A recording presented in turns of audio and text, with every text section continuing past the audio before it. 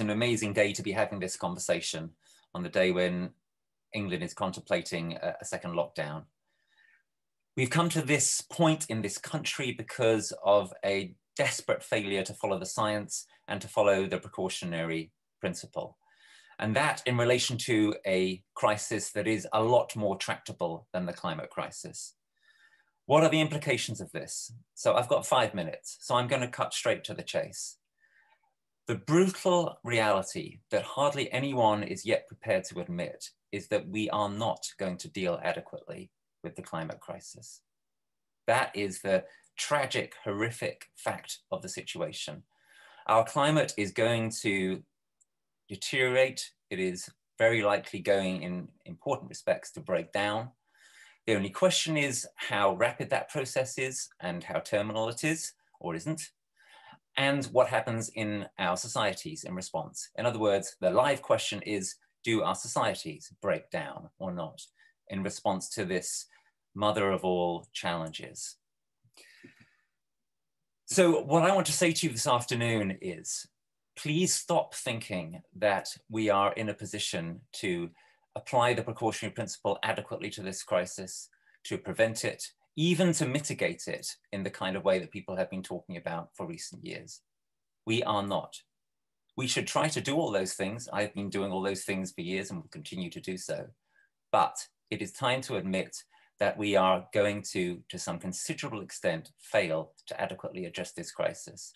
If we can't adequately address COVID, there is no possibility that we're going to adequately address climate. What does this mean? It means that we have to adapt it means that we have to get serious about adaptation because climate decline is coming.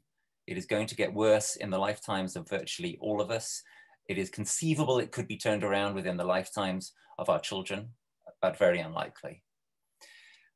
What kind of adaptation do we undertake? That is really the critical question.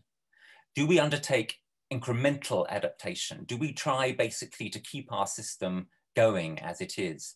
Do we do things like build higher levees and higher seawalls and hope that that will keep out the tides that are coming.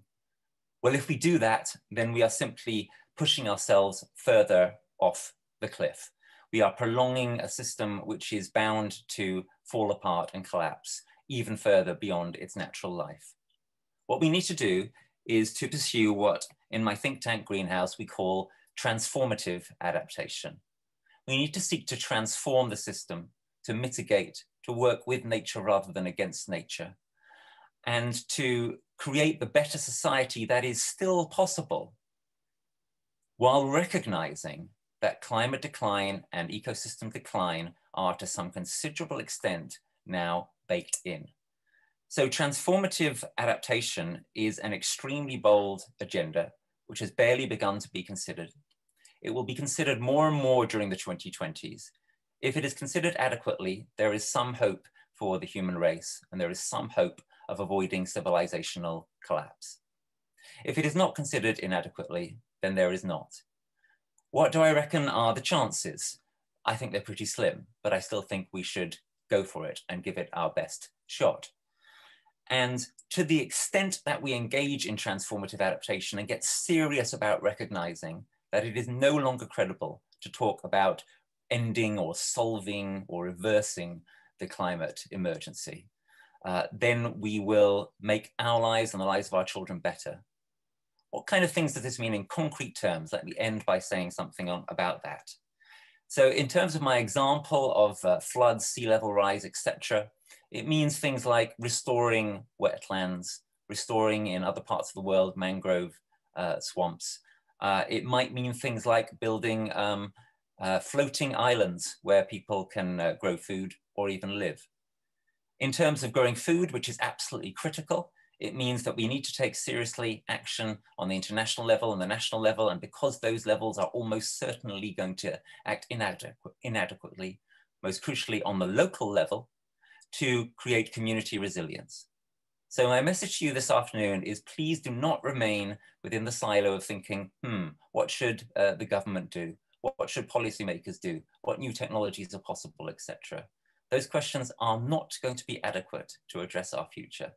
Please start also to consider questions like, what are we going to do in my community? What am I going to do to ensure that there is some kind of solid food supply going into the future?